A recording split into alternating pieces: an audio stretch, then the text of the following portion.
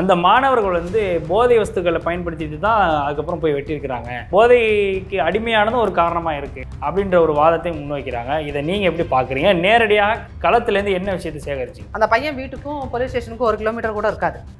ரொம்ப நேரம் போராடினதுக்கப்புறம் தான் போலீஸ் வரும். அப்போ போலீஸ் கிட்ட கேட்கும்போது அவங்க என்ன சொல்கிறாங்க அப்படின்னா இந்த Nanguneri police station punishment area punishment ஏரியாவா ஏன் அப்படி? இந்த இது இந்த முன்னாடிலாம் தமிழ் சினிமாவில் சொல்லுவாங்க தனியில காட்டுக்கு மாற்றிடுவேன் அந்த மாதிரி. இது வந்து அட்ராசிட்டி அதிகமாக நடக்கிற ஊரில். அதனால எதை காவல்துறையினருக்கு இது காவல்துறையினருக்கு அது பனிஷ்மெண்ட் ஏரியா தூக்கி போடுறாங்க அந்த மாதிரி. அப்படிங்கும்போது அவங்களே ஒரு ஃப்ரஸ்ட்ரேஷனில் தான் உண்மையில வேலை செய்கிறாங்க சாதி சாதி சார்ந்த வேலைகள் அப்படிங்கிறது அங்கே ரொம்ப மூர்க்கமாக இருக்குது இந்த வார்த்தையை பயன்படுத்துறதுக்கு நிறைய எதிர்ப்புகள் வரலாம். ஆனால் உண்மை அதுதான். சாதி வந்து அங்கே இல்லை அந்த அளவுக்கு மூர்க்கத்தனமாக அவங்க அதை ஃபாலோ பண்ணுறாங்க அப்படிங்கிறது. அந்த மூர்க்கத்தனத்தோட பாதிப்பு என்ன அப்படின்னு பார்த்தீங்கன்னா இப்போ இந்த நாங்குநேரி வில்லேஜ்லேயே பறையர்கள் வைத்திருந்த நிலம் இருக்கு இல்லையா? இன்னைக்கு அவங்க வந்து அவங்க கிட்ட ஒரு ஒரு குடும்பத்தில் சராசரியாக ரெண்டு ஏக்கர் ரெண்டரை ஏக்கர் இருக்குன்னா யாரையுமே விவசாயம் பண்ண விடல. இப்போ போகும்போது இந்த கடந்த இருபத்தஞ்சி வருஷங்களை பார்க்கும்போது நம்ம சாதியை ஒழிக்கிறோம் ஒழிக்கிறோம்னு பேசிட்டு சாதியை வந்து ரொம்ப ஆழமாக எல்லா இடத்துலையும் கொண்டு போய் சேர்த்துருக்கோம். அந்த ஊரில் நாங்கள் ட்ராவல் பண்ணின போது எந்த ஊ போ இடத்துக்கு போனாலும் ஒரு சாதி அடையாள தலைவர் போஸ்டர் செவுத்துல ஓவியங்களாக வரைஞ்சி வச்சுக்கிறது அந்த சாதி தலைவர்களை ஓவியம் எங்கே பார்த்தாலும் சாதி சாதி சாதி தான் சார். பெருமளவுக்கு தமிழ்நாட்டோட எலக்ட்ரிசிட்டி போகாத ஊருக்கெல்லாம் கூட இந்த திமுக அரசாங்கம் வந்த பிறகு கஞ்சாங்கிறது எல்லா இடத்துலையும் இருக்குது சார். பரவலாக அது வந்து மிக கொடூரமான ஒரு விஷயமா அதை நான் பார்க்குறேன். குழந்தைங்கள்ட்ட நீங்கள் வந்து எஜுகேஷனை கம்ப்ளீட்டாக கொண்டு போய் சேர்த்தீங்களா இல்லையான்னு தெரியல. இந்த கல்வியாண்டுக்கு அதுவும் பள்ளிக்கூட மாணவர்கள்ட்ட அதிகமாக இது புழங்குது அப்படிங்கிறது தான் இதில் முக்கியமாக அது ஊரில் இருக்கிற எல்லாத்துக்கும் தெரியுது. எல்லாரும் சொல்கிறாங்க ஸ்கூல் குழந்தைங்க கஞ்சா யூஸ் பண்ணுறாங்க நாங்குநேரியில் நடந்த ஊருக்கு போன போது அது பெருந்தெரு. பெருந்தெருவாங்க அது பெருந்தெரு. இன்னைக்கு வந்து ஒரு நூற்றம்பது குடும்பங்கள் இருக்கிறாங்க அப்படின்னா அதில் ஒரு தேர்ட்டி பர்சன்ட் இப்போ வரைக்கும் காலி பண்ணிட்டு போயிட்டாங்க. பட்டியலினத்தை சார்ந்த மக்கள். பட்டியலினத்தை சார்ந்த மக்கள்ன்றதை விட பறையர் சமுதாய மக்கள் வந்து அந்த ஊரை விட்டே காலி பண்ணிட்டு போயிட்டாங்க. கடத்தல் இல்லை கஞ்சா க கடத்தல் வழக்கில் கைதுன்னு பார்த்தீங்கன்னா கடத்தலில் ஈடுபட்ட ஒரு 70% பர்சன்ட் யாருன்னு பார்த்தீங்கன்னா திமுக குடும்பத்தை சார்ந்தவர்களாக இருப்பாங்க. ஒன்று திமுக ஒன்றிய கவுன்சிலராக இருப்பார். அந்த மாதிரி நிர்வாக அமைப்புகள்லேருந்து வந்திருப்பாங்க. இல்லைன்னா இந்த திமுக கவுன்சிலர்ஸ் கவுன்சிலர் ஃபேமிலி அம்மா கவுன்சிலர் இருப்பாங்க.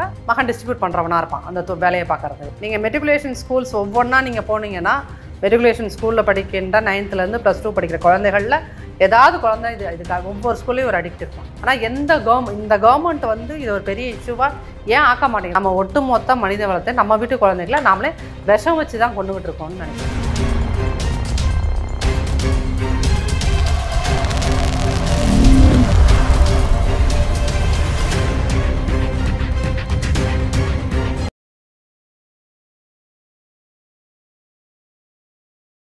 ஐத்தமிழர்களுக்கு வணக்கம். இன்றைய நேர்காணலில் நம்முடன் இணைந்திருப்பவர் அரசியல் விமர்சகர் திருமதி நாச்சியால் சுகந்தி அவர்கள்.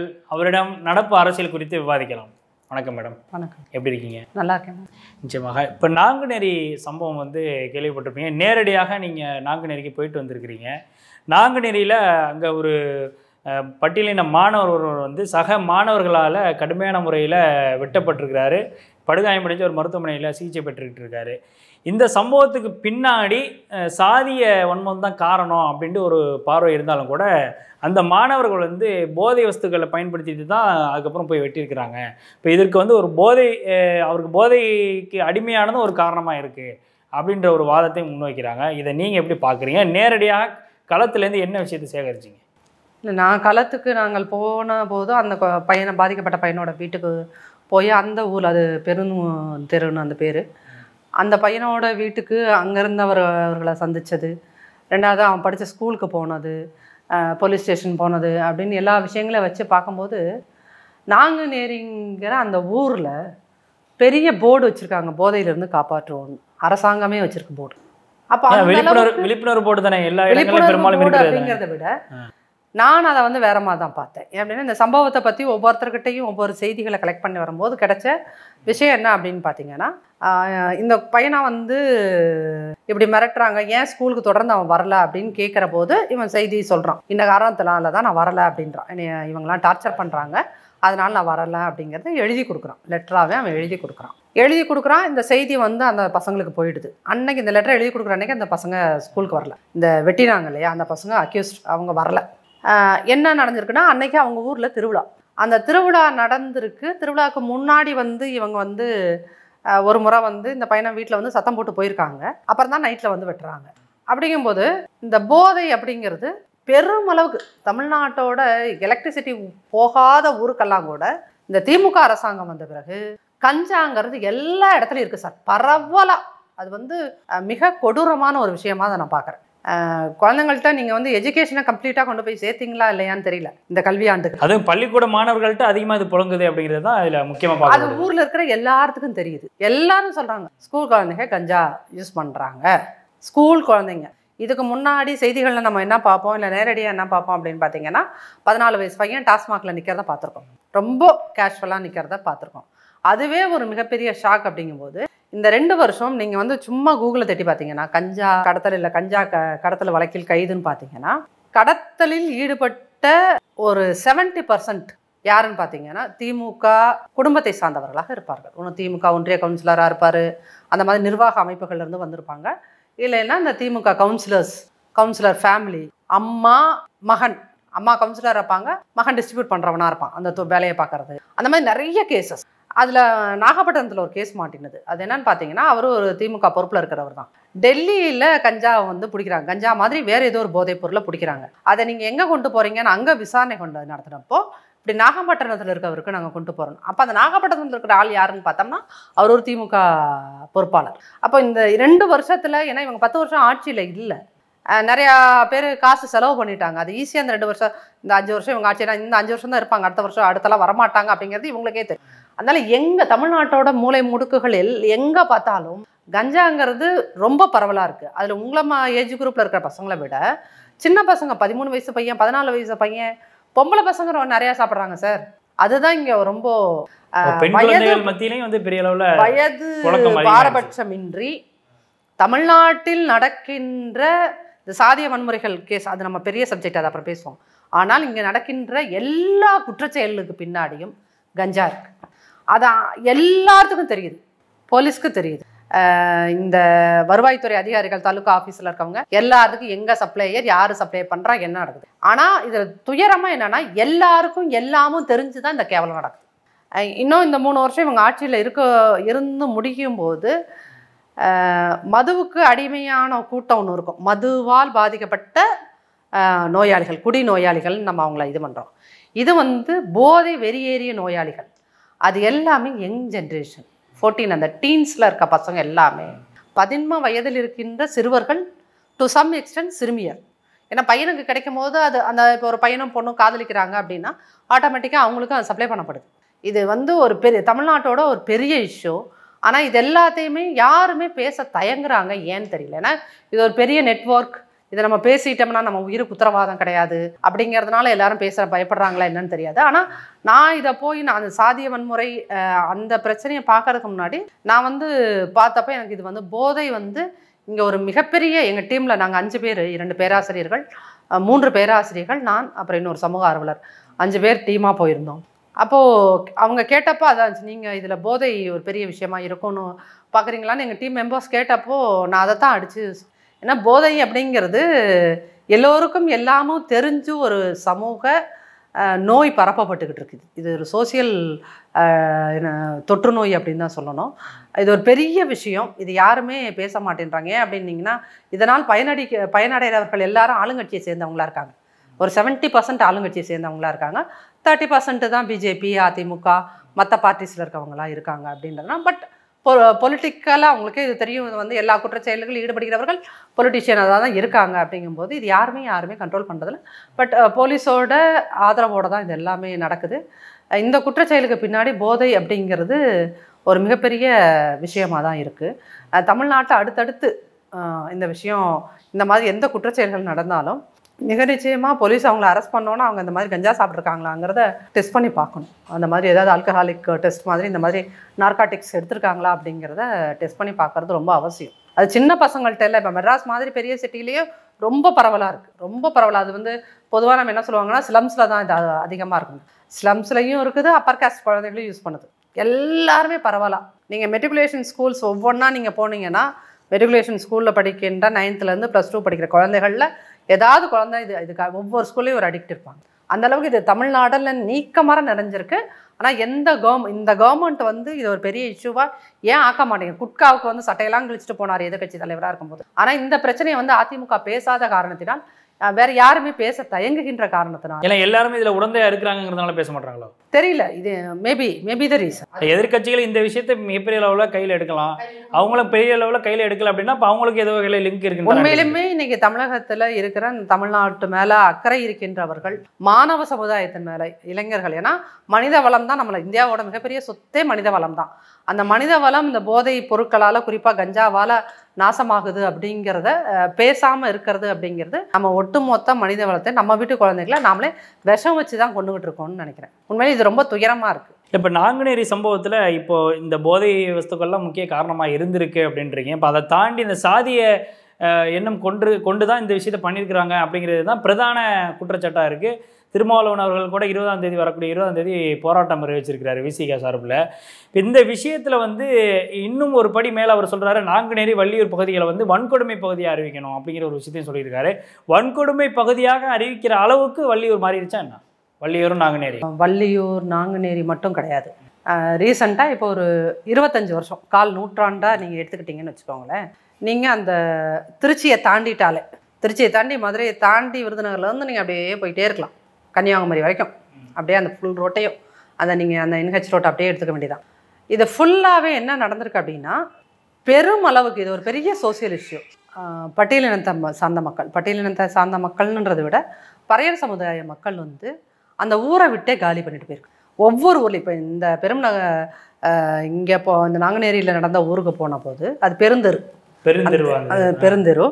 இன்னைக்கு வந்து ஒரு நூற்றம்பது குடும்பங்கள் இருக்கிறாங்க அப்படின்னா அதில் ஒரு தேர்ட்டி பர்சன்ட் இப்போ வரைக்கும் காலி பண்ணிட்டு போயிட்டாங்க. இதுக்கு பார்த்தீங்கன்னா இந்த பக்கம் ரோட்டுக்கு இந்த பக்கம் மறவரர் தெரு இந்த பக்கம் பறையர்கள் தெரு. மறவர்களோட சோசியோ எக்கனாமிக் ஸ்டேட்டஸும் பறையர்களோட சோசியல் எக்கனாமிக் ஸ்டேட்டஸும் ஒரே மாதிரி தான் இருக்கு அது ஒரு ஒரு பெரிய ரெண்டு ஒரே மாதிரி தான் ஒரு ஒரே அந்த இது வந்து ஒரே மாதிரி தான் இருக்குன்னு வச்சுக்கோங்க. வீடுகள்லாம் அவங்க வீடுகளை விட இவங்க வீடு நிறைய இடங்கள்ல பெட்டராகவும் இருக்கு. அஹ் வசதிகளும் இருக்குது. நல்ல டிவி இருக்குது ஃப்ரிட்ஜ் இருக்குது வாஷிங் மிஷின் இருக்குது அந்த மாதிரி நல்ல வசதிகளோடயும் இருக்காங்க.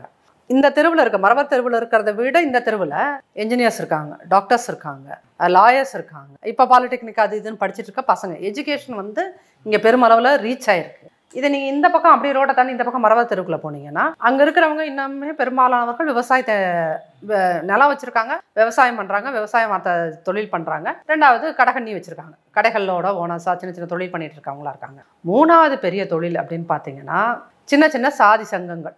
அந்த சாதி சங்கங்கள்ல அடியாள் வேலை பார்க்குறாங்க. நாங்கள் ஒரு ஒரு ஒன் ஹவர் போல் கோர்ட்டு தாலுகா ஆஃபீஸு இதெல்லாமே பக்கத்தில் பக்கத்தில் இருக்குது. பொதுவாக ஒரு இடத்துல நின்றுட்டு இருந்தோம். ஒருத்தரை பார்க்கறக்காக வெயிட் பண்ணிட்டு இருந்தோம். அங்கே இருந்த இளைஞர்கள் எல்லாமே பதினெட்டு வயசுலேருந்து முப்பது வயசுக்குள்ளே தான் இருப்பாங்க.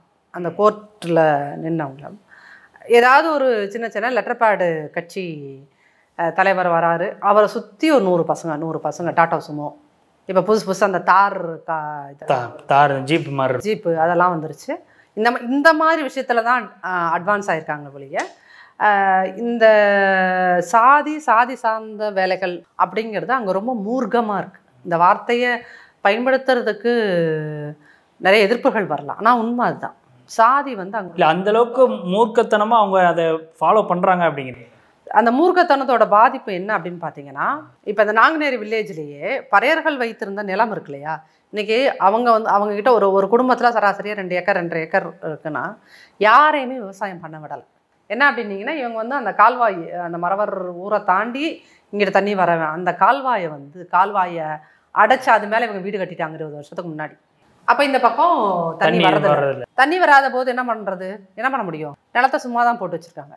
நிலத்தை சும்மா போட்டு வச்சிருக்கும் போது வந்து மிரட்டுறாங்க. அவங்க வந்து இவங்களோட பெர்மிஷன் இல்லாமல் அங்கே பயிர் பண்ணுறாங்க பறையர் வீட்டு நிலையங்களில் மறவர்கள் வந்து பயிர் பண்ணுறாங்க இவங்கள்ட்ட கேட்டால் என்ன சொல்கிறாங்க பயமாக இருக்குது அவங்க பத்தாயிரம் குடும்பம். நான் நூறு குடும்பம். எப்படி எதிர்க்க முடியும்? எதிர்த்தா இது இப்போ இந்த ஒரு கேஸ் வந்து உங்களுக்கு வெளியே வந்துருச்சு.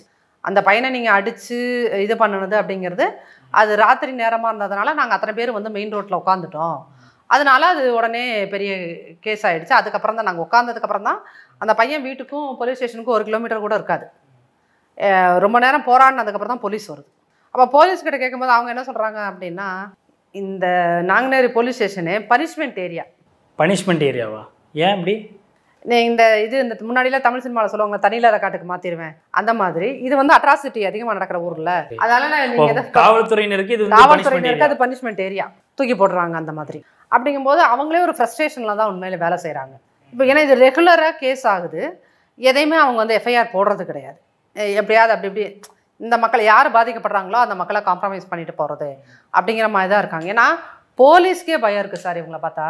ஏன்னா அவங்க மெஜாரிட்டி நீங்கள் மெஜாரிட்டேரியன் அந்த தியரி தான் வந்து இந்த ஜனநாயகத்தில் அதிகமாக வேலை பார்க்குது. மெஜாரிட்டியாக ஓட்டு போட்டு ஜெயிக்கிறவன் தான் ஜெயிச்சவன் சொல்கிறோம் இல்லையா? அந்த மாதிரி இவங்க இவங்க சொல்கிறது தான் சட்டம் இவங்க வைக்கிறது தான் சட்டம் இவங்க பேசுகிறது தான் சட்டம். ஏன்னா அங்கே வந்து இருக்கிற பத்தாயிரம் குடும்பத்துக்கும் பத்து லெட்டர் பேட் கட்சி இருக்குது பத்து பேர் வந்து நிற்கிறான் எந்த ஒரு விஷயம்னாலும் உடனே பொலிட்டிசைஸ் பண்ணிடுறாங்க.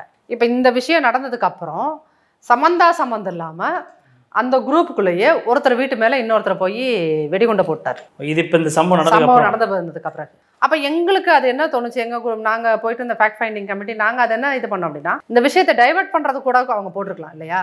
ஏன்னா ஒரு ஒரே கேஸ்ட் அதோடைய ரிட்டாலியேஷனா இருக்கும் அப்படின்ற மாதிரியான ஒரு கோணத்தை கிரியேட் பண்றதுக்காக ஆமா. பண்ணிருக்கலாம் அப்படிங்கிறீங்க. அப்போ என்ன பண்ணுறாருன்னா அவர் நாங்கள் போய் டிஎஸ்பியை பார்க்கறதுக்காக வெயிட் பண்ணிட்டு இருக்கும்போது அந்த ஊரில் வந்து டிஎஸ்பியை வேலை செய்கிறது பாவம் தான் நினைக்கிறேன். ஏன்னா அவங்க இந்த கேஸையும் ஹேண்டில் பண்ணுறாங்க அந்த கேஸையும் ஹேண்டில் பண்ண அந்த இது யார் ப- போட்டாங்க வெடிகுண்டு யார் போட்டாங்க போனாங்க வந்தாங்க அது பின்னாடியும் அலைய வேண்டி இருக்குது. அப்புறம் இந்த மாதிரி அங்கங்கே கம்ப்ளைண்ட்ஸ் வந்துட்டே இருக்குது. அன்னைக்கு நாங்கள் போய் அன்னைக்கு ஒரு கவுன்சிலரை வெட்டிட்டாங்க. சம்பவம் அதுவும். அப்படிங்கும்போது இது வந்து உண்மையிலுமே நான் என்னோட ஒரு இருபது இருபத்தி மூணு வயசுலேருந்து இந்த மாதிரி என்டைய தமிழ்நாடு சுற்றிக்கிட்டே தான் இருக்கும் என்டைய இந்தியாவும் சுற்றிட்டு தான் இருக்கும். இப்போ போகும்போது இந்த கடந்த இருபத்தஞ்சி வருஷங்களை பார்க்கும்போது நம்ம சாதியை ஒழிக்கிறோம் ஒழிக்கிறோம்னு பேசிட்டு சாதியை வந்து ரொம்ப ஆழமாக எல்லா இடத்துலையும் கொண்டு போய் சேர்த்துருக்கோம் அந்த ஊரில் நாங்கள் ட்ராவல் பண்ணின போது எந்த போ இடத்துக்கு போனாலும் ஒரு சாதி அடையாள தலைவர் போஸ்டர் செவுத்துல ஓவியங்களாக வரைஞ்சி வச்சுருக்கிறது அந்த சாதி தலைவர்களை ஓவியம் வச்சுருக்கேன் எங்கே பார்த்தாலும் சாதி சாதி சாதி தான் சார் இருக்குது அப்போ அவங்க ம- இந்த மைனாரிட்டி இப்போ இது ஒரு மைனாரிட்டி மாதிரி தான் எப்படி வந்து என்டையர் இந்தியாவில் வந்து ஒரு கிறிஸ்டியனும் ஒரு முஸ்லீமும் மைனாரிட்டியோ அதே மாதிரி ஒவ்வொரு ஊருக்குள்ளேயும் எஸ்சி மக்கள் ஒரு மைனாரிட்டியாக தான் இருக்காங்க. ஏன்னா எல்லா இடத்துலையும் பெரும்பான்மை சாதி நிறையா நம்பர்ஸ் இருக்காங்க.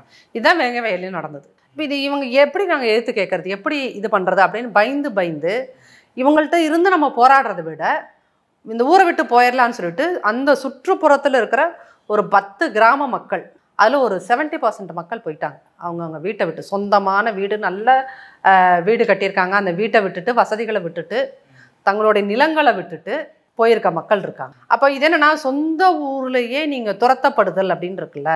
துரத்துறது அப்படிங்கிறது உங்களை எது துரத்திருக்கு? சாதி துரத்திருக்கு. அது விசிபிளாக உங்களுக்கு தெரியல. அது இங்கே ரெஜிஸ்டர் ஆகலை. அது ரெஜிஸ்டர் ஆனாலும் அதை பேசுகிறதுக்கு எந்த பொலிட்டிக்கல் பார்ட்டிஸும் தயாராக இல்லை. ஏன்னா பொலிட்டிக்கல் பார்ட்டிஸ் அது எந்த கட்சியாக இருந்தாலும் சரி இங்கே வந்து சாதி தான் இவங்களுக்கு மூலதனம்.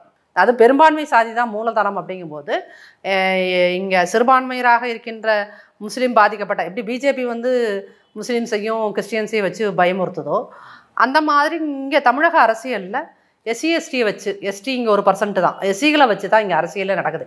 எஸ்சிகள் பாதிக்கப்படுறாங்க அப்படின்றது இங்கே வந்து மெஜாரிட்டியாக இருக்கிறவங்களுக்கு ஒரு பெரிய சந்தோஷத்தை கொடுக்குது அப்படின்னு தான் சொல்லணும். உண்மையிலுமே வந்து ரீஹாபிட்டேஷன் அப்படிங்கிறது நீங்கள் எஸ்சி மக்களுக்கு வந்து செய்கிறத விட இந்த மாதிரி அட்ராசிட்டி பண்ணுறவங்க கிட்ட வந்து இந்த கவர்மெண்ட் வந்து ஒரு உரையாடலை நிகழ்த்தணும் இல்லை? இல்லை அவங்களுக்கு வந்து முறையான இப்போ நீங்கள் சொ ஏற்கனவே சொன்னதில் வச்சு நம்ம யூகிக்கும் பொழுது அவங்களுக்கு முறையான கல்வி போய் சேரலை அப்படிங்கிறத நம்மளால பார்க்க முடியுது. ஏன்னா இந்த சமூகத்தில் உள்ளவங்க டாக்டர்ஸ் நிறைய பேர் இருக்காங்க. அதாவது நீங்கள் சொன்ன பள்ளியின மக்களத்தை சேர் மக்களை சேர்ந்தவங்க வந்து டாக்டர்ஸ் இருக்கிறாங்க இன்ஜினியர்ஸ் இருக்கிறாங்க. இதே மாதிரி வந்து ஓரளவு எஜுகேட்டட் ஃபேமிலிஸ் இருக்கிறாங்க. எக்கனாமிக்கலாகவும் ஸ்டேட்டஸ் கொஞ்சம் நல்லா இருக்கிறாங்க அப்படின்னு சொல்கிறீங்க இப்போ இதில் வந்து எக்கனாமிக்கல் growth இருந்தாலும் கூட இவங்கள்ட்ட வந்து பெரிய லெவலில் வந்து படிப்பு கல்வி ரீதியாக எந்த ஒரு முன்னேற்றமும் இல்லை அப்படிங்கிறது தானே இதில் புரிஞ்சிக்க முடியுது. அப்போ அது அந்த மாதிரியான சம்பவம் இதுக்கு ஒரு காரணமாக இருக்குது அப்படின்னு எடுத்துக்கலாமா? மிக நிச்சயம். என்னன்னா நம்ம வந்து ஹையர் எஜுகேஷனில் இத்தனை பர்சன்ட் வந்துட்டோம். அத்தனை பர்சன்ட் வந்துட்டோம். இந்தியாவுக்கே உதாரணமாக இருக்கிறோம்.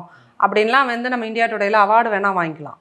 பட் நீங்கள் ரியாலிட்டி க களத்துக்கு போய் பார்க்கும்போது ஒவ்வொரு முறையும் போய் பார்க்கும்போது தமிழ்நாட்டில் சாதிங்கிறது வந்து மிக கேவலமாக பரவியிருக்கு. அதுதான் சொல்லணும்.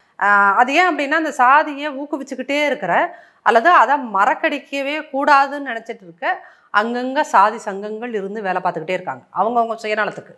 ஏன்னா நம்ம இங்கே வந்து எந்த அரசியல் கட்சியும் என்ன பண்ணுது? எலெக்ஷன் வரும்போது லெட்டர் பேட் சாதி சங்கங்களை கூட சேர்த்துக்குது. டூ தௌசண்ட் லெவனில் நீங்கள் கருணாநிதி அவர்கள் கூட்டம் வச்சுக்கிட்ட கூட்டணி வச்சுக்கிட்ட கட்சிகள்லாம் பார்த்தீங்கன்னா அப்படி தான் இருக்கும். சாதி சங்கங்கள் தான். அப்போ இந்த மாதிரி அதுக்காகவாவது தேவைப்படுது அப்படின்னு சொல்லிட்டு தான் அங்கே அத்தனை சாதி சங்கங்கள் இருக்குது அவர்கள் அப்போ என்னென்னா நம்ம என்ன கொலை செஞ்சாலும் அவர் கொண்டு வந்துடுவார் இப்போ வந்து இந்த இதுலேயே வந்து அக்யூஸ்டோட ஒரு அக்யூஸ்டோட பெரியப்பா வந்து திமுகவில் இருக்கார். அக்யூஸ்டோட சொந்த அப்பா வந்து பாஜகவில் இருக்கார். ஆமா இன்னொரு இன்னொருத்தர் வந்து. மதிமுக மதிமுகவில் இருக்காங்க. அப்படிங்கும்போது இது கட்சி அப்படிங்கிறது ஒரு பெரிய ரோல் ப்ளே பண்ணுது இந்த மாதிரி அட்ராசிட்டியில் ஏன்னா என்ன நம்ம தப்பு பண்ணினாலும் நம்மளை வந்து நம்ம சித்தப்பாவோ பெரியப்பாவோ கொண்டு வந்துருவாங்க. மீட்டு கொண்டு வந்துருவாங்கன்ற நம்பிக்கை எல்லாத்துக்குமே இருக்குது. சாதியாக நம்ம போய் நின்னா மீட்டுட்டு வந்துடலாம் அப்படிங்கிற நம்பிக்கை ஒன்று இருக்குது உண்மையிலேயே இந்த கேஸை பொறுத்தளவுக்கு என்ன அப்படின்னா இதோட டிஎஸ்பியை நம்ம வந்து உண்மையிலுமே அவரை மனதார பாராட்டணும். இந்த இப்போ எப்படி இந்த செந்தில் பாலாஜி கேஸில் நாகஜோதியை மாற்றி விட்டாங்க அந்த மாதிரி அவரை மாற்றாமல் இருக்கணும். அது ரொம்ப முக்கியம். ஏன்னா அவர் வந்து ரொம்ப ஸ்ட்ராங்கான எஃப்ஐஆர் தான் அவர் ரெஜிஸ்டர் பண்ணியிருக்காரு அவர் போட்டிருக்க கேஸ் எல்லாமே ரொம்ப ஸ்ட்ராங் இதுல ரொம்ப சிரத்தை எடுத்து பண்றாரு. சிரத்தை எடுத்து பண்ணுறாரு உண்மையிலுமே அது அந்த கேஸ் அவர் கடைசி வரைக்கும் நடத்தணும். ஏன்னா இதில் நீதிபதி சந்துரு தலைமையில் ஒரு கமிட்டி போட்டிருக்காங்க. அவ- அவங்க என்ன ரெக்கமெண்டேஷன் கொடுக்க போகிறாங்க அப்படின்னு தெரியல. ஆனால் நீதிபதி சந்துரு வந்து இதெல்லாம் அவர் கணக்கில் எடுத்துக்கணும். அந்த சுற்றுவட்ட க கிராமங்களில் இருக்கின்ற பழைய நிலங்களுக்கு போகின்ற கால்வாய்கள் எல்லாத்தையுமே அடைச்சி வச்சு தான் இவர்கள் அந்த அவர்களை வந்து அந்த நிலத்தை எல்லாம் தரிசாக்கி அப்புறம் இந்த நிலத்தையெல்லாம் இவங்க வாங்கிக்கிறது. இது உண்மையிலே பார்த்தீங்கன்னா வளங்களுக்காக நடக்கின்ற ஒரு போர்னு தான் சொல்லணும். அந்த மக்களை ஊரை விட்டு துரத்திட்டு அந்த நிலத்தையெல்லாம் இவங்க திருப்பி ஆட்டையை போட்டுக்கிறது. இப்போ அதே ஊரில் வந்து பார்த்தீங்கன்னா அந்த ஊரில் வந்து நாங்குநேரி இது இருக்குது அக்ரஹாரம். அந்த அக்ரஹாரத்தில் எயிட்டி பர்சன்ட் அக்ரஹாரத்தில் எயிட்டி பர்சன்ட் மறவர் மக்கள் குடியிருக்காங்க. வீடை ஓனாக வாங்கிட்டாங்க. ஏன்னா அங்கிருந்த பிராமணர்கள் எல்லாரும் ஃபாரின் போயிட்டாங்க. அப்போ அந்த காலியாகிற வீடுகள் எல்லாம் இவங்க விலை கொடுத்து தான் வாங்கியிருக்காங்க. ஒரு டுவெண்ட்டி பர்சன்ட் வேறு வழி இல்லாமல் இங்கே இருப்பாங்க இல்லையா? அவங்க ஏன்னா அங்கே ஒரு கோயில் இருக்குது பெருமாள் கோயில். அந்த பெருமாள் கோயில் வடமாமலையில் இன்னும் ஒரு பெரிய கோயில். அந்த கோயிலில் வேலை பார்க்குறவங்க அதை சுற்றி இருக்கிறவங்க நிலம் அங்கே வச்சுருக்கவங்க அந்த பிராமணர்கள் ஒரு இருபது சதவீதம். அப்போ சும்மா பேச்சு வாக்கில் அங்கே இருக்கிற ஒரு அம்மா கிட்ட பேசும்போது அவங்க சொன்னாங்க எங்களால் இவங்களுக்கு ஒரு பாதிப்பும் இல்லைல்ல நான் சொன்னேன் எப்படி பிராமணர் தெருவில் உங்களை அனுமதிச்சாங்க? நீங்கள் எப்படி இங்கே வீடு வாங்கி வந்து இருக்கீங்க? அப்படின்னப்ப அவங்க ரொம்ப கேஷுவலாக சொன்னாங்க எங்களால் அவங்களுக்கு ஒரு பாதிப்பும் இல்லைல்ல அப்படின்னு. அப்போ தான் நினச்சேன் நீங்கள் வந்து பிராமணர்களோட நீங்கள் உங்களோட தேவைகளுக்காக சேர்ந்து வாழ்கிறீங்க அப்புறம் இவங்க மனசில் என்ன இருக்குது பிராமணன்னா உயர்ந்தவன். அவன் கூட நம்ம அட்ஜஸ்ட் பண்ணி போகணும். இங்கே பட்டியல் என்னம்னா அவன் படிச்சிருக்கலாம் அவனுக்கு கால் ஏக்கரோ அரை அரை ஏக்கரோ அவனுக்கு சொந்தமாக நிலம் இருக்குது. இருந்தாலும் அவன் தாழ்ந்தவன். அதனால அவனை மேலே நம்ம அட்ராசிட்டி ஏவி விடலாம் அப்படிங்கிறது அது பை நேச்சர் டிஃபால்ட்டாகவே இருக்குதுன்னு தான் அதை சொல்ல முடியும். இல்லை இப்போ இடைநிலை சாதி இந்த சா இடைநிலை சமூகத்தை மட்டும்தான் இந்த மாதிரியான விஷயங்களை வந்து ஊற வச்சிருக்கிறாங்க அப்படின்னு எடுக்கிறோம் இது ஒரு வகையான ஒரு ஆரிய சித்தாந்தம் அப்படின்ற ஒரு பேச்சு வந்து பொதுவாக நிலவுது. இல்ல? இதைத்தான் இப்ப நான் வந்து- இடைநிலை சமூகத்தை மட்டுமே இங்கே மோத விட்டுக்கிட்டு இருக்கிறாங்க அப்படின்றது இதன் மூலமாக புரிஞ்சுக்க முடியுமா? இதை நீங்கள் அது ஆரிய சித்தாந்தம் சொல்கிறது இது திராவிட பார்ப்பனியம்னு சொல்லலாம். திராவிட பார்ப்பனியம். புதுசாக இருக்கு நீ சொல்கிறது ஆமா. திராவிட இதை நான் அதை அப்படி தான் பார்க்குறேன். அப்படின்னா இது என்ன பார்ப்பனியத்தோட சிந்தனை என்னது? தனக்கு கீழே நாலு சாதி இருக்குது அவனை எல்லாத்தையும் அடக்குமுறை வச்சிருக்கணும். இந்த நாலு சாதியும் பாப்பானுக்கு சேவை பண்ணுறதுக்கு தான் இந்த நாலு சாதி. அப்படிங்கிறது தான் அவங்களோட பார்ப்பனிய சித்தாந்தம். அது ஒரு சித்தாந்தமாக கேவலமான சித்தாந்தம். இப்போ இந்த நீதி கட்சி வந்து இதோட நூறு வருஷம் ஆகுது. நீதி கட்சி தோன்றினதுக்கப்புறம் என்ன ஆச்சு அப்படின்னீங்கன்னா பாப்பான்லாம் அது பார்ப்பனியத்துக்கு எதிராக போராடுறோம்னு சொல்லிட்டு நம்ம என்ன பண்ணிட்டோம்னா பாப்பானை எல்லாம் அமெரிக்காவுக்கு அனுப்பிச்சி விட்டுட்டோம் பெங்களூருக்கு அனுப்பிச்சி விட்டோம் மும்பைக்கு அனுப்பிச்சி விட்டோம் டெல்லிக்கு அனுப்பிச்சி விட்டோம்.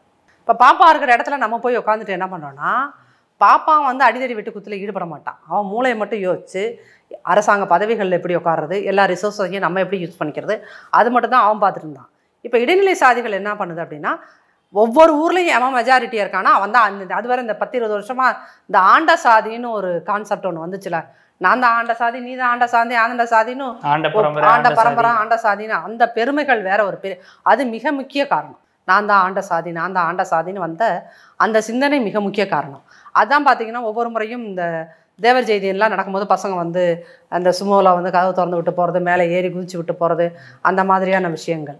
அது திமுக வரும்போது என்ன ஆகுது ஆட்சிக்கு வரும்போது அப்படின்னா இப்போ பிஜேபிக்கு வரும்போது ஒரு பிஜேபிக்கு ஆட்சிக்கு வந்து அந்த பத்து வருஷத்தில் என்னது? இஸ்லாமியர் வெறுப்பு அல்லது கிறிஸ்தவ வெறுப்பு மணிப்பூரில் உங்களுக்கு நடக்குது இல்லையா? அப்போ இந்த வெறுப்பு எப்படி கட்டமைக்கப்படுதோ அதே மாதிரி தான் திமுக இது நான் அப்சர்வ் பண்ணின விஷயம். இது திமுக மேலே நம்ம பழிய போடணுன்றது கிடையாது. ஆனால் இது நம்ம நீங்கள் களத்தில் போய் பார்க்கும்போது இந்த விஷயங்கள் உங்களுக்கு கண் கூட தெரியுது. இந்த அட்ராசிட்டி வந்து ரொம்ப ஹையாக ஏன் இருக்குது அப்படின்னா நம்ம சொந்தக்காரன். நம்ம அப்பா பெரியப்பா சித்தப்பா மாமா மச்சான் எவனோ ஒரு கட்சியில் இருக்கான். அந்த கட்சியில் திமுகவில் இருக்காங்க.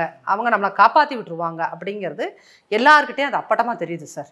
அந்த கெத்து அதை வந்து ஒரு கெத்து. எங்கள் தாத்தா யார் தெரியுமா? அங்கே இருக்காரு. அந்த கெத்துன்னு ஒன்று ஊருக்குள்ள அவங்களே சொல்லிட்டு கலரை தூக்கி விட்டுக்கிட்டு அது அந்த அந்த மனோபாவம் தான் இந்த இடைநிலை சாதியை வந்து ரொம்ப அதிகமான சாதிய வன்முறைகளில் ஈடுபட வைக்கிது. அது இன்னைக்கு வெறும் இந்த கேஸ் நடந்ததுனால ஸ்கூல் ஸ்டூடெண்ட்டை அடு இப்படி வெட்டிட்டாங்க அப்படிங்கிற ஒரு விஷயம். இன்னொரு பக்கம் என்ன அப்படின்னா பெண்கள் மீதான வன்முறையும் அதிகமாயிட்டு இருக்கு. பட் அது ரெஜிஸ்டர் ஆக மாட்டேங்குது. அது பெண்கள் மீதான வன்முறை அப்படிங்கிறது உங்களுக்கு நீங்கள் இந்த பிரியாவை வந்து கையை பிடிச்சி மேயர் பிரியாவை அவர் மாண்புமிகு மேயர்னு தான் நீங்கள் சொல்லணும். அந்த அம்மாவை அவர் ஒரு முன்னாள் எம்எல்ஏ திமுக எம்எல்ஏ ஒரு கூட்டத்தில் எப்படி இன்டீசெண்டாக நடத்துகிறாரு பக்கத்துலேயே தான் யார் இருக்கா? முதல்வர் இருக்கார். அவரால் கண்டிக்க முடிஞ்சதா? அதுக்கப்புறம் சமூக வலைதளங்களில் அதை பற்றின பெரிய பேச்சுகள் வந்துச்சு. இது வரைக்கும் ஏதாவது ஆக்ஷன் எடுத்திருக்காங்களா? ஒன்றும் கிடையாது. ஸோ இதைத்தான் சாதிய மனோபாவம் அப்படின்னு நம்ம சொல்கிறோம் நீ மேயராக இரு. கடவுளாக கூட இரு. ஆனால் நீ என்ன சொல்றது? எஸ்சி கடவுள் அப்படின்னா நம்ம உங்களை அட்ராசிட்டிக்கு உள்ளாக்குவோம் அப்படிங்கிறது தான் இன்னைக்கு இருக்கின்ற இந்த இடைசாதி மனோபாவம். இது வந்து ரொம்ப ஒரு ஆபத்தானது. நீங்கள் வந்து பொருளாதார ரீதியாக நம்ம எவ்வளோ தூரம் வளர்ந்துட்டு போகலாம் இந்த பக்கம் நீங்கள் உள்கட்டமைப்பில் எவ்வளோ தூரம் அப்படியே டெவலப்டு ஸ்டேட்டுன்னு சொல்லலாம். பட் சாதிய மனோபாவம் அப்படிங்கிறதுல பார்த்தீங்கன்னா ஒரு கல்வி போய் சேராத உத்தரப்பிரதேசக்காரர் எப்படி பின்தங்கிய மனநிலைமையில் இருக்காரோ அதே தான் இன்றைக்கி நீங்கள் சவுத் ஃபுல்லாக சவுத் தமிழ்நாடில் பெரும்பான்மையான இடங்கள் இப்படி தான் இருக்குது. அதனால் அங்கே ஒரு டயலாகை இதை பற்றின ஒரு விதா விவாதங்களை ஏற்படுத்துறது தான் இன்னைய தேதிக்கு முக்கியம்.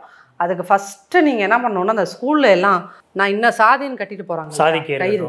அந்த கயிறுகளை மொதல் அறுக்கணும். ஃபஸ்ட்டு இங்கே இந்த மினிஸ்டர்ஸ் இருக்காங்க இல்லையா? ஏன்னா நீங்கள் தான் லா மேக்கர்ஸ் லா மேக்கர்ஸ்குள்ளேயே ஒரு டிசிப்ளின் இல்லை.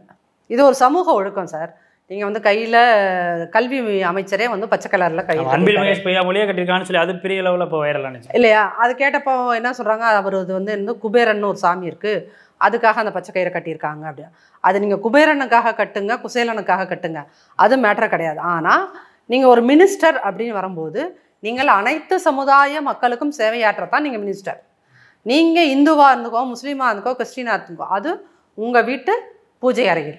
உங்கள் படிதாண்டி வரும்போது நீங்கள் வந்து ஒரு மக்களோட சர்வெண்ட் அப்போ நீங்கள் எந்த எல்லா அடையாளங்களும் திறந்து தானே வரணும் ரோல் மாடலாக இருக்கணும் அப்படிங்கிறீங்க. ஆமாம் நீங்கள் இந்த இங்கே திருநூறு படிப்படியாக திருநூறு குங்குமத்தையும் நேற்று இங்கேருந்து இங்கே வரைக்கும் வச்சுக்கிறது. அஹ் இந்த மாதிரி கயிறுகளை கட்டிக்கிறது. ஒவ்வொரு விஷயங்களையும். அப்போ நம்ம வந்து இப்படி இந்த இங்கே கயிறு கட்டுறதை வந்து விமர்சனம் பண்ணலைன்னா இங்கே நீங்கள் போட்டுக்கிறீங்களா ஒரு பூனல் அந்த பூனலை நம்ம விமர்சனம் பண்ணுறோம்ல அப்போ அதை விமர்சனம் பண்ணீங்கன்னா எல்லா கயிறும் கயிறு தான். அது இடுப்பில் இருந்தால் வந்து அதுக்கு வேறு மதிப்பு கையில் இருந்தால் அதுக்கு வேறு மதிப்பெல்லாம் இல்லை. கயிறு கயிறு தான். அப்போ கயிறு எங்கே கட்டினாலும் அது தப்பு தான் அப்படிங்கிறது மினிஸ்டர்ஸ்க்குள்ளே ஒரு டிசிப்ளின் வேணும். அவர் பிடிஆர் வந்து வெல் எஜுகேட்டட் மேன். அவருமே கையில் க கயிறு கட்டி வச்சுருக்காரு. இந்த மாதிரி மத அடையாளங்களை முத ஒழிக்கணும். ஏன்னா இவங்க கயிறு கட்டியிருக்கும் போது நீ ஒரு ஸ்டூடெண்ட்டை போய் உன் சாதி கயிறு கட்டாதப்பா அப்படின்னு சொன்னோம்னா அவன் என்ன சொல்லுவான்? போங்க அன்பிலே அப்படி தான் கட்டியிருக்காரு. எங்கள் மினிஸ்டரே அப்படி தான் கட்டியிருக்காரு. மினிஸ்டரை கேட்க மாட்டேங்கிறேன். என் ஒரு வாத்தியார் கண்டிக்கும் போது கேட்பானா இல்லையா ஸ்டூடெண்ட்டு? மினிஸ்டர் உங்களால் செய்ய முடியுமா சார்? அழுக்க முடியுமா அவன் கயிறை? அப்புறம் என்கிட்ட வரேம்மா? ஸ்டூடெண்ட்ஸ் கேட்குறாங்க சார் இன்னைக்கு இன்னைக்கு இருக்கு நீங்கள் இன்னொரு பக்கம் என்னென்னா ஸ்டூடெண்ட்ஸ் ஆசிரியர் ரிலேஷன்ஷிப் இருக்குல்ல அது வந்து நீங்கள் இருந்த காலகட்டங்களில் இருந்தது போதும் நைன்டி கிட்ஸ் இல்லையா நீங்களாம் நீங்கள் இருந்த காலகட்டங்களில் இருந்தது போலையோ இல்லை நான் இருந்த காலகட்டங்களில் இருந்தது போலையோ இல்லை.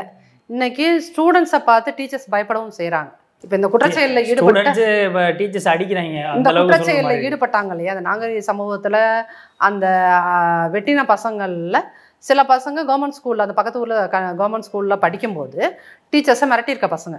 அதுக்கப்புறம் இந்த மாதிரி பிரச்சனை பண்ணுறாங்கன்னு சொல்லிட்டு தான் இவங்க வந்து பக்கத்து ஊரில் வள்ளியூரில் இருக்கின்ற ஒரு டிஎல்சி ஸ்கூல் அது. லுத்ரன் சபை கிறிஸ்டியன் மிஷினரி ஸ்கூல் அந்த கிறிஸ்டியன் மிஷினரி ஸ்கூல் என்விரான்மெண்ட்டெல்லாம் பார்த்தோம்னா இங்கே படித்த குழந்தைகளாக இப்படியெல்லாம் பண்ணுது அப்படிங்கிற மாதிரி இருக்கும். அது உள்ளபடியாக அந்த டீச்சர்ஸ்க்கு அங்கே இருக்க டீச்சர்ஸ்க்கும் ஒரு அவமானமாக அதை நினச்சேன் நம்ம பிள்ளைகள் இப்படி பண்ணிடுச்சேங்கிற ஒரு அவமானமாக அதை அவங்க கருதுகிறாங்க ஆனால் நமக்கு நீங்களே போய் பா விசிட் பண்ணிங்கன்னா அது உங்களுக்கு தோணும். இவ்வளோ நல்ல ஸ்கூலில் இவ்வளோ நல்ல என்விரான்மெண்ட்டில் இருந்த பசங்களாக்கா இப்படி ஒரு சிந்தனை. அந்த சிந்தனை எங்கே வருது? ஸ்கூலுக்குள்ளே இருக்கும்போது அவனுக்கு வராது. ஏன்னா ஸ்கூல் வந்து உங்களை ஒரு கண்ட்ரோல்டு சிஸ்டமில் வச்சுருக்கு. வெளியே வரும்போது அவனுக்கு வருது. வெளியே வரும்போது ஏன் வருதுன்னா ஒன்று அவனுக்கு சாதி சங்கங்கள் சாதி வரைபடங்கள் ரெண்டாவது போதைப் பொருட்கள். இந்த சா ஏன்னா ஏற்கனவே அவன் சாதிங்கிற போதையில் ஊறிட்டு இருக்கான். அந்த போதையை இன்னும் ஏற்றி விடுறதுக்கு நீங்கள் கஞ்சாவை கையில் கொடுக்குறீங்க. இந்த இரண்டு காரணங்கள். இரண்டாவது பாரபட்சம் இல்லாமல் தமிழகம் முழுவதும் இருக்கின்ற எந்த சாதி தலைவர்களாக இருந்தாலும் ஒரு காலகட்டத்தில் இந்த டிரான்ஸ்போர்ட்டுக்கெல்லாம் பேர் வச்சாங்க. சாதி தலைவர்கள் பேரை வச்சு. அதெல்லாம் தூக்கினாங்க. அதே மாதிரி தமிழ்நாட்டில் எங்கே நீங்கள் இந்த சாதி தலைவர்கள் போஸ்டர்ஸ் இருந்தாலும் அதை எல்லாத்தையுமே இனிமேல் அப்படி செய்யக்கூடாதுங்கிறத அது குறைந்தபட்ச உடனடி நடவடிக்கையாக செய்யறதுன்னா அதை செஞ்சு அந்த மாதிரி சின்ன சின்ன வேலைகளில் ஈடுபடுறது இந்த க சாதி கயிறு கட்டாமல் இருக்கிறது சாதி தலைவர்களை போற்றி போற்றி பாடல்களை வந்து திரும்ப திரும்ப அந்தந்த பகுதிகளில் ஒழிக்க வைக்காமல் இருக்கிறது. இந்த மாதிரி விஷயங்களை செ செஞ்சாதான் இந்த அட்ராசிட்டிஸை வந்து அட்லீஸ்ட் ஓரளவுக்காவது கண்ட்ரோல் பண்ண முடியும். இது எல்லாத்தையும் தாண்டி ரொம்ப முக்கியம் நீங்கள் இந்த போதைப் பொருளை கண்ட்ரோல் பண்ணுறது அப்படிங்கிறது. இந்த நிமிஷத்துக்கு தேவையான விஷயம்னா அதுதான். அது ஊடகங்கள் நீங்கள் திரும்ப திரும்ப அதை பேசணும். நிச்சயமாக பல்வேறு கேள்விகளுக்கு ரொம்பவே தெளிவாக பதில் சொன்னீங்க. என்னுடைய அரங்கிற்கு வந்து நேர்காணல் அளித்ததுக்கு மிக்க நன்றி.